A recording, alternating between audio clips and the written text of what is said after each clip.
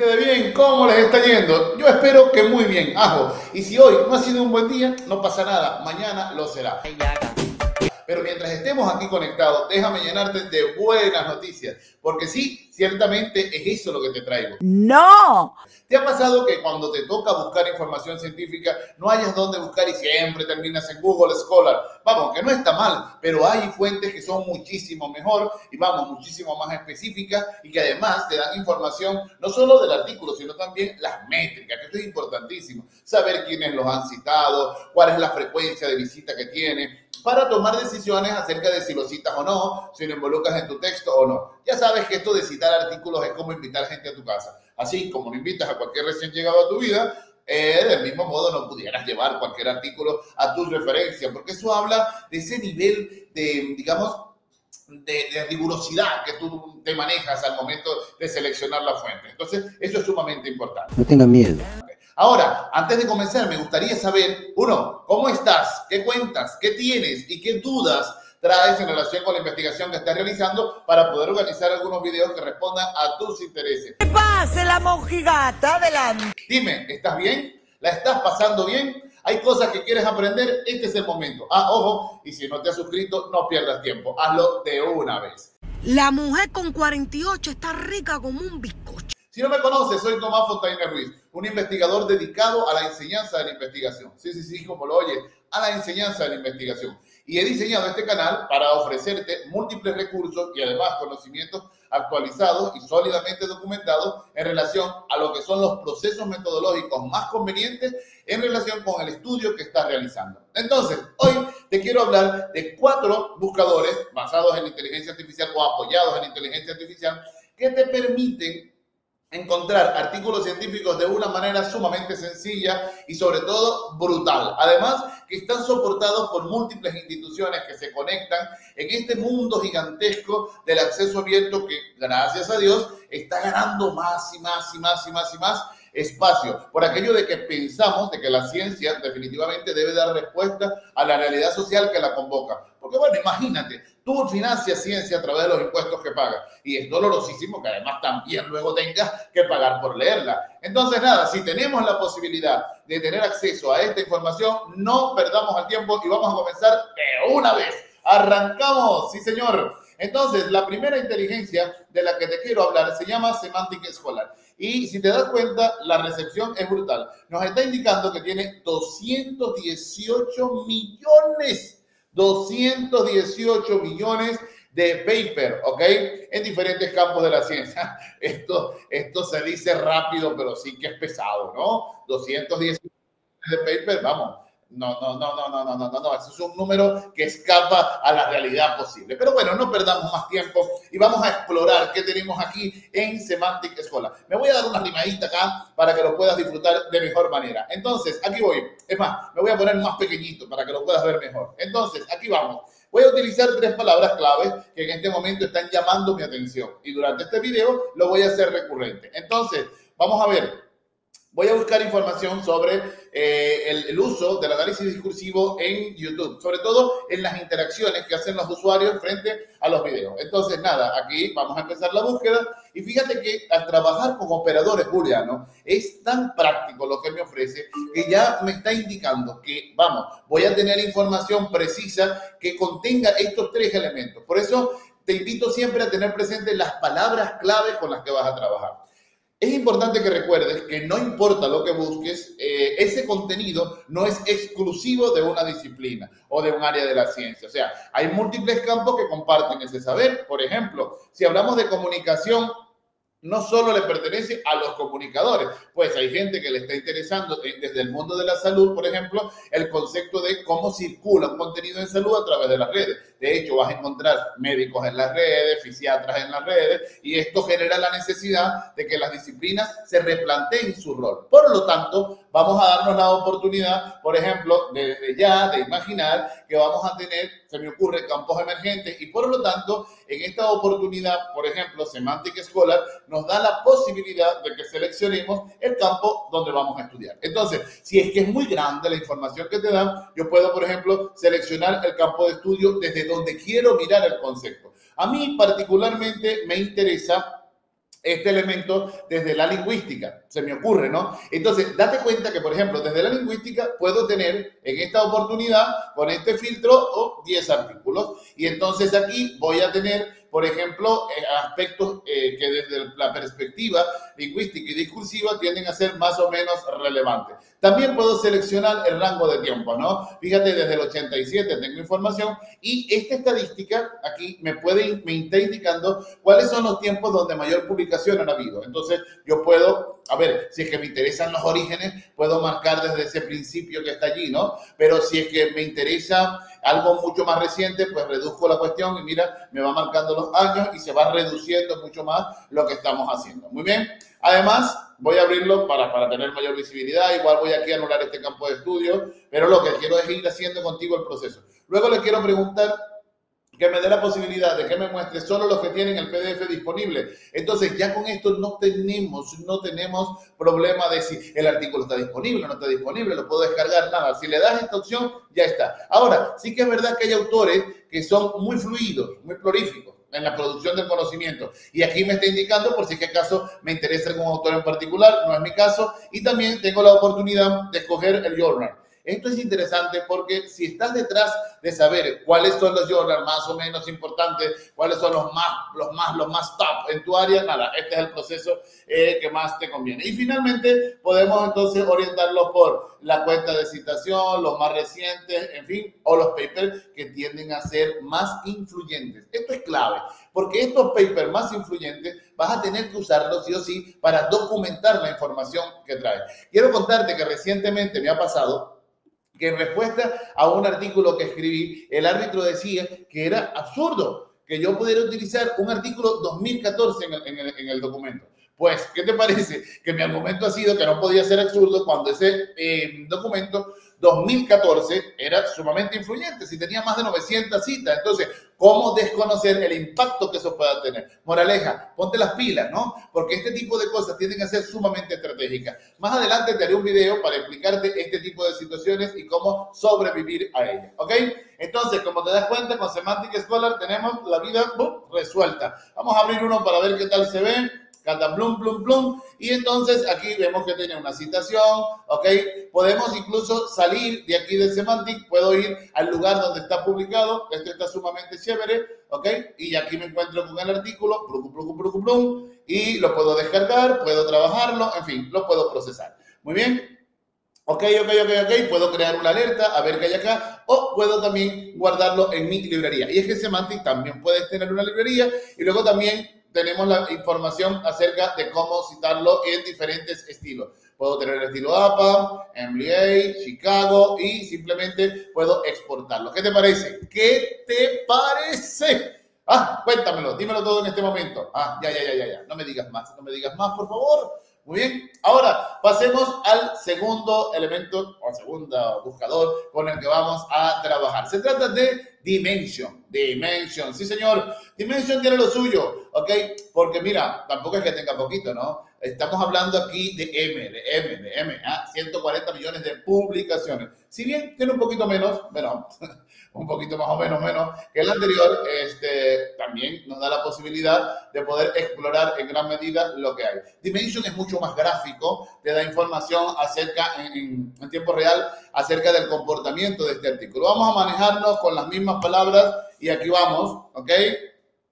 Date cuenta que en el anterior teníamos más o menos cincuenta y tantos. Y aquí, uff, nos ha salido la pelusa de 139 mil. Esto es inmanejable, ¿no? Entonces, bueno, como es inmanejable, vamos a empezar a trabajar por tiempo. Solo en el 2024 tengo 4.481. Es posible que los términos clave que he utilizado para el caso de Dimension sean exageradamente abiertos. Entonces voy a trabajar con los últimos cinco años. Aquí voy, pam, pam, pam selecciono los últimos cinco años. No tengo ningún investigador en mente que me interese. Categorías de investigación. Aquí, de igual manera, puedo seleccionar los campos de investigación. Muy bien. Entonces, voy a utilizar el campo que me interesa, que en este caso sería Communication, eh, Human Society, Language Communication, ¿ok? Eh, no estoy interesado en ningún objetivo del desarrollo del milenio, pero si quisiera lo pudiera seleccionar. El tipo de publicación que me interesa analizar, en este caso serían artículos, no me interesan los capítulos. Tampoco me interesa alguna revista en particular, no me interesa algún índice en el que esté, para nada. Y en este caso, pues puedo tener todas las opciones de acceso abierto, pero no, no voy a limitarme a nada de eso. Entonces, le doy aquí al final, limit to, y ya está pues he tenido una reducción de 45 mil artículos. Entonces, aquí, aquí tengo que tomar una decisión. A mí me parece que mis palabras han sido exageradamente este, abiertas, ¿no? Entonces, yo voy a, en este caso a organizarlas por datos y sí que es verdad que voy ahora a filtrar por un elemento adicional. Y le voy a colocar aquí Unheard. Y ahí está.